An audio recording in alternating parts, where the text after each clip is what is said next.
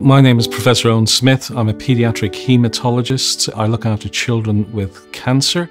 In the last 15 years, I've been banging a drum to try and get a realization in the health service in this country that we should be treating adolescents with cancer. Indeed, adolescents with all chronic diseases differently because they have real special needs compared to our children or indeed our adults. My name is Karen O'Neill, and 12 years ago I was diagnosed with acute myeloid leukemia, and Professor Smith was my primary consultant. Karen was 16 at that stage, and her consultant hematologist in an adult hospital felt it would be more appropriate for her to be treated in a paediatric setting. On the ward rounds, I would ask her what did she want to be when she grew up, and she said she wanted to be a doctor, but more specifically, she said, I want your job.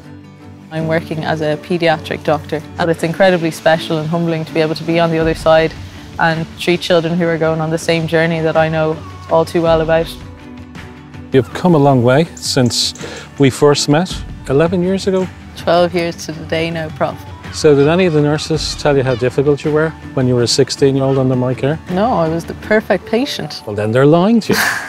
So, have you noticed anything else about the, the protocols, the way we treat now? Things are quite different now, and it's great to see such advancements. It's so important to personalise medicine these days to maximise survival and minimise toxicities. So, I think in the area of leukemia, CAR T is essential. We can manipulate a patient's own immune cells to turn itself back on the cancer.